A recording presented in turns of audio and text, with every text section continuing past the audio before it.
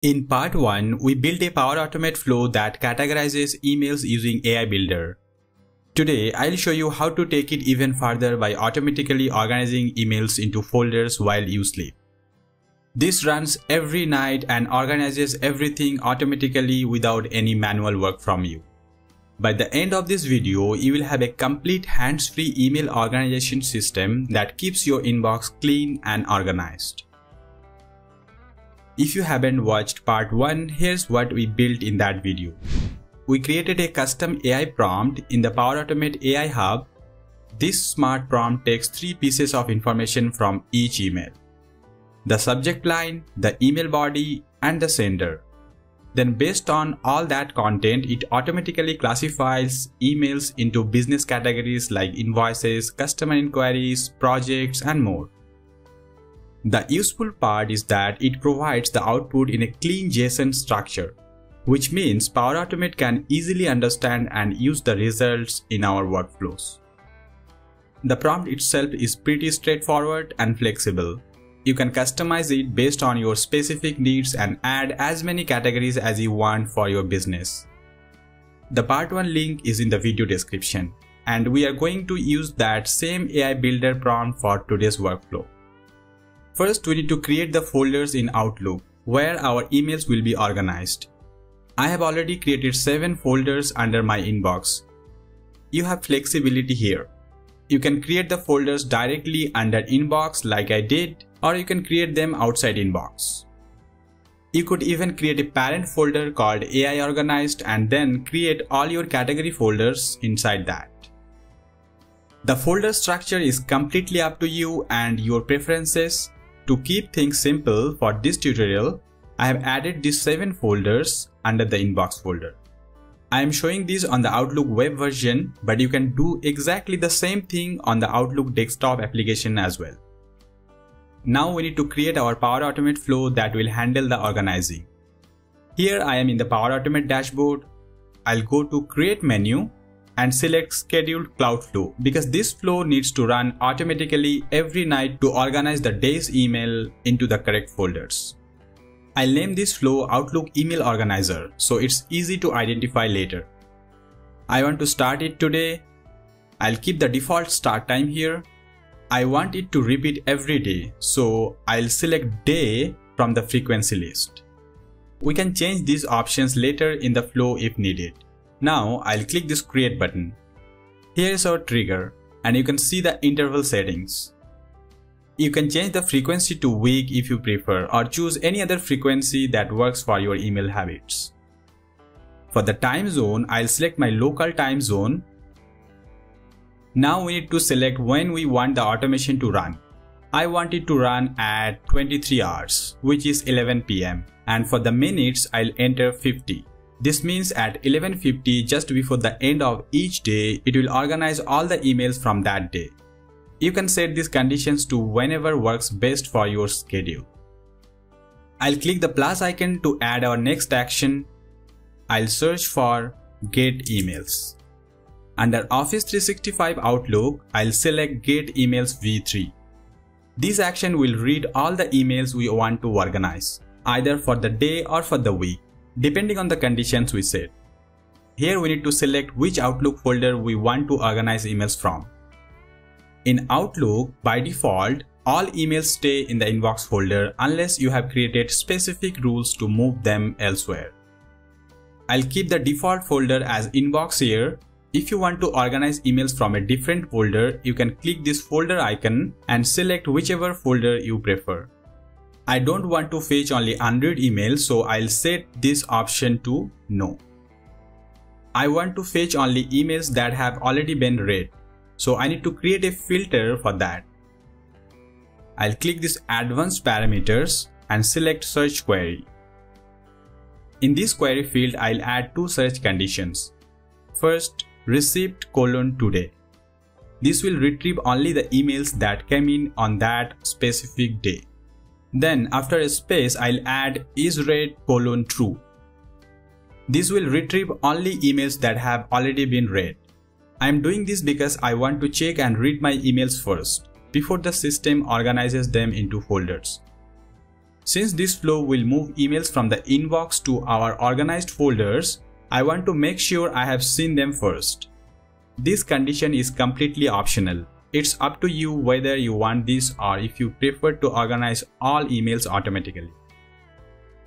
I don't need email attachments for this process so I'll keep the include attachment option as no. For the top value, I'll add 50. This tells the action how many emails to get from Outlook in one run. If you typically receive more than 50 emails per day, you can increase this number accordingly. Now we need a loop that will send each email to our AI model one by one for analysis. I'll add the next action and search for apply to each. I'll select this apply to each action. For the input of this action, I'll select this option enter the data from previous step and from the get emails v3 action I'll select body slash value. This means the loop will process each email individually. Inside the loop we need two actions. First I'll add this run a prompt action under AI capabilities. This action will call the AI model we created in part 1 to analyze each email and determine which category it belongs to. Here for the prompt, I'll select Microsoft Outlook email classifier.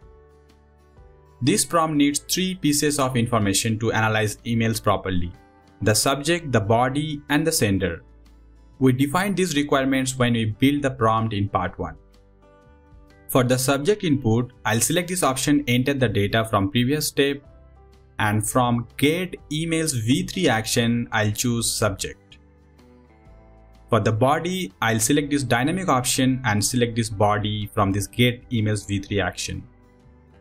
For the sender, I'll select this option and send this from value from this action. Now our AI has all the information it needs to categorize each email. The final action in our loop will actually move the emails to the correct folders. I'll search for move email here is the Move Email v2 action under Office 365 Outlook. This action moves emails to whichever folder we specify based on what the AI determined. First we need the message ID so the system knows which specific email to move. I'll select this option enter the data from previous step and click the see more link to view all available values from the get emails v3 action. Then I'll scroll down to find message ID. Here is message ID. Now for the folder destination.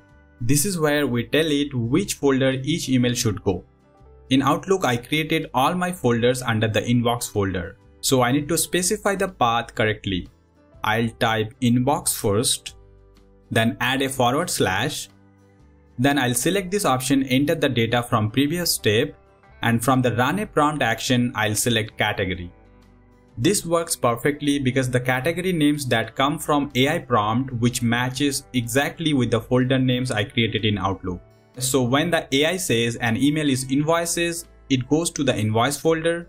When it says customer, it goes to the customer folder and so on. Our flow is ready. I'll save it first. This flow will automatically run at 11.50 pm every day as we specified in the recurrence trigger but let's test it now to see how it works.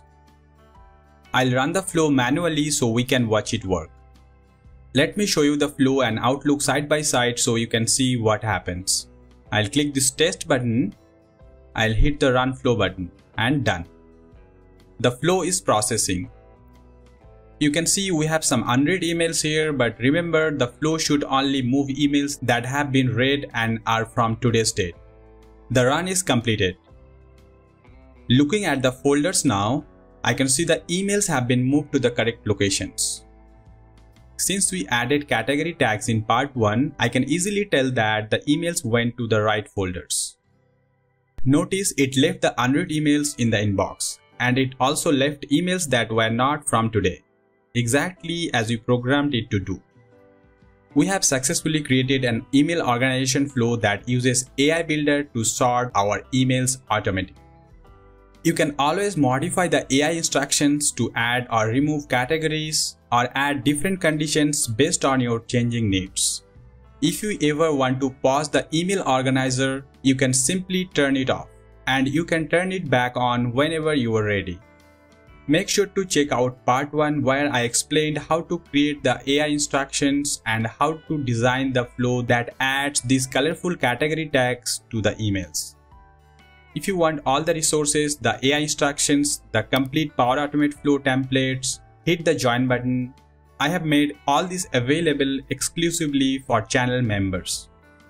Please hit the like button if this helped organize your emails in Outlook and leave your feedback in the comments below. Thank you for watching.